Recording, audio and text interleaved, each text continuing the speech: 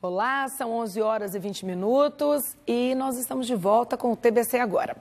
A partir desta segunda-feira, moradores de 10 cidades goianas vão poder fazer aí o agendamento online para alguns serviços oferecidos pelo VaptVupt. A medida é válida para emissão de carteira de identidade, carteira de trabalho e seguro-desemprego. As cidades beneficiadas são Rio Verde, Tumbiara, Goianésia, Águas Lindas, Inhumas, Valparaíso, Lusiânia, Iporá, Caldas Novas e Jataí. Para fazer o agendamento, você deve acessar www.vaptvupt.go.gov.br br barra agendamento. E daqui a pouco você confere no TBC Notícias primeira edição que o número de multas por usar o celular ao volante em Goiânia aumentou, olha só, mais de 50% esse ano em comparação com os 10 primeiros meses de 2018.